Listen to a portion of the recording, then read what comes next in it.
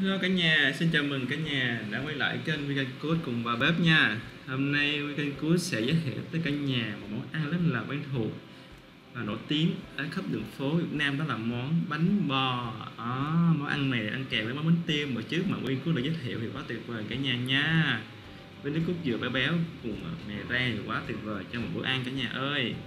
Rồi chúng ta cùng vào bếp nha nguyên liệu chúng ta sẽ có là 100g bột gạo các bạn nha. Cùng với 60g bột năng các bạn nha. Bột bắp cũng được các bạn. Và chúng ta sẽ có là đường là 70g cả cả nhà nha. Cùng với 3 gram men và 1 gram vani. Và cùng với 1 gram muối bạn nha và chúng ta sẽ có là 250ml nước dừa các bạn nha. Ok bây giờ chúng ta sẽ bắt đầu à, làm phần men trước các bạn. Mình sẽ cho một chút xíu nước cốt dừa hòa với chút xíu đường và mình sẽ cho men vào các bạn nha. Thì cái nước dừa với à, đường nữa mình sẽ cho vào cái ba để hâm nóng các bạn. Đó, hâm nóng xong mình sẽ cho men vào để mình kích hoạt các bạn cho nó mau nở các bạn nha. Tiếp theo mình sẽ bắt đầu mình rây cái bột gạo cùng với bột năng vào các bạn nha. Đó, mình sẽ rây miệng luôn. Sau đó mình sẽ bắt đầu mình nhả một các bạn nha. Ok sau khi mình đã đây bột ờ, gạo bột năng cùng với muối vani vào thì bây giờ mình sẽ cho cái phần nước dừa vào các bạn nha. Mình sẽ cho từ từ vào để mình ờ, uh, phôn đều các bạn. Uh, mình uh, khuấy đều lên đó uh, lát sau đó mình sẽ mình cho hết cái phần nước dừa sau đó mình sẽ cho cái phần hỗn hợp mà men mình đã kích hoạt các bạn nha.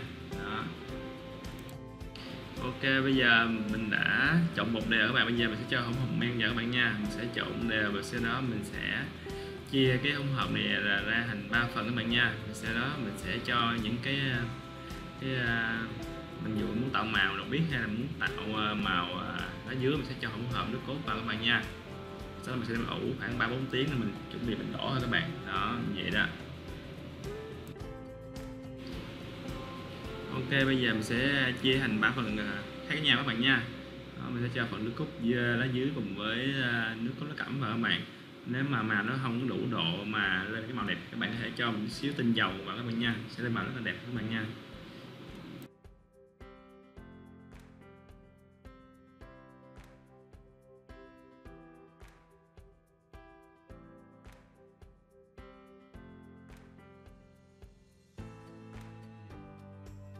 Ok tiếp theo mình sẽ chuẩn bị những cái khuôn à, khuôn nhỏ các bạn. Ở khuôn silicon đó mà nhìn cho dễ mà. Khi mà hấp xong dễ lấy các bạn thì các bạn sẽ dùng cái cọ với dầu á quét xung quanh cái hành à, dưới cái đáy khuôn nha.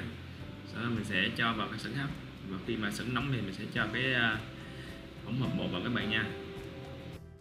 Ok sau ba bốn tiếng thì bột đã nở. Các bạn bây giờ mình sẽ chuẩn bị một cái sửng hấp các bạn nha. Mình sẽ cho à, sửng nóng là mình sẽ đổ hỗn hợp bột vào các bạn nha đó, mình sẽ đổ thông một bột vào cái cốc uh, ly á. Nó sẽ có cái uh, cái cái mũi uh, mũi chỉ, chỉ xuống á mình sẽ dễ đổ hơn các bạn nha. Ok sau khi đổ xong mình sẽ bắt đầu mình hấp ở lửa lửa lớn các bạn nha. Hấp trong vòng khoảng 30 tới 40 phút các bạn nha. Sau đó mình sẽ kiểm tra thử coi. Đó kiểm tra thử coi. Ờ, chín chưa bằng cách mình dùng cái ờ, tâm các bạn mình xỉa vô nếu còn dính bột là chín các bạn nha. Các bạn lưu ý mình phải để lửa lớn thì lớn các bạn nha. Nó sẽ chín sẽ nở các bạn. Đó đừng giảm lửa xuống các bạn nha lưu ý nha. Đó. ok và sau gần 45 phút thì bánh đã chín rồi cả nhà ơi. Đó bây giờ mình sẽ lấy ra mình thích là cả nhà nha. Mình sẽ kèm bánh nước dừa và mè rang các bạn nha. Wow, cả nhà ơi cả nhà nhìn ngon không nào đó, với, với bánh bò thơm thơm bé béo đó, bùi bùi đó, kèm nước cốt dừa ngọt ngọt liệm nữa thì quá tuyệt vời cả nhà ơi chưa kể mè rang sực sực cả nhà nha.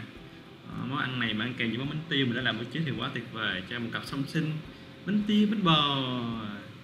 Rồi chúc cả nhà có những phút giây thư giãn với món ăn bánh bò nước cốt dừa cùng mè rang này nhé. Hẹn gặp cả nhà ở những clip sau. Bye bye.